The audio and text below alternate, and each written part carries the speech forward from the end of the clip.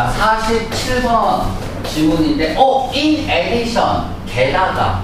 그럼 46번 문제하고 똑같은 거네요. 그쵸? 자, 방향성은 좋습니다. 게다가 만약에 네가 풀을 계속 먹으면 너는 아마도 치과 간대요. 자, 그레스가 포인트네요. 그쵸?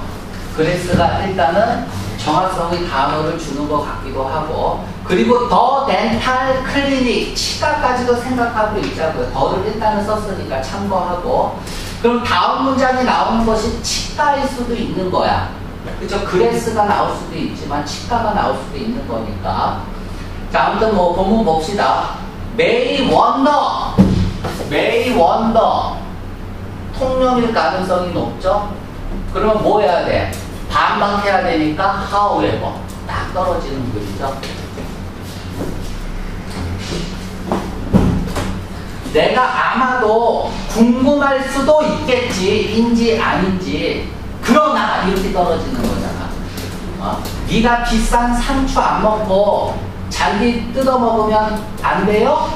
라고 자 고기 싸 먹을 때 상추 비싸니까 풀 싸 먹으면 안 되냐고 그치? 생각할 수도 있겠지? 라는 거야. 자, 원칙적으로는 가능하대요. However, 그러나, 이렇게 연결되는 거야. 원칙적으로 사람들은 grass 먹어도 된다. 왜냐하면 독도 없고 먹을 수 있으니까.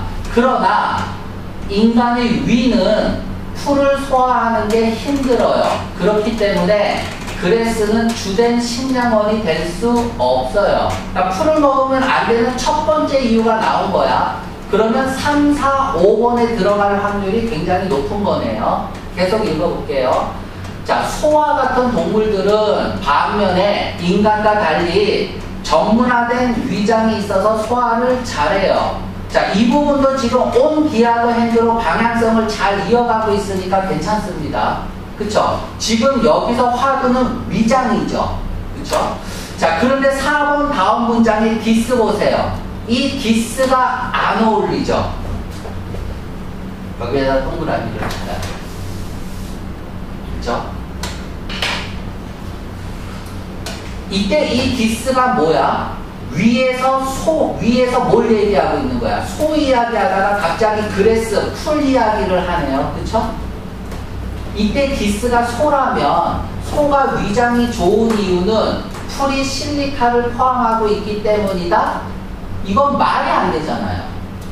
그쵸? 그래서 이 this가 윗문장이랑 연결이 안 됩니다.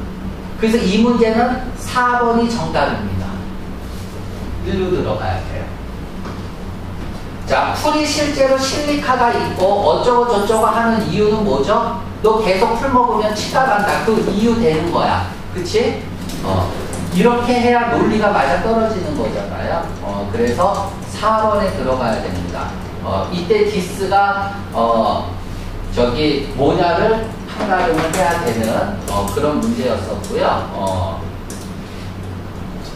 됐죠? 네. 미치겠는데.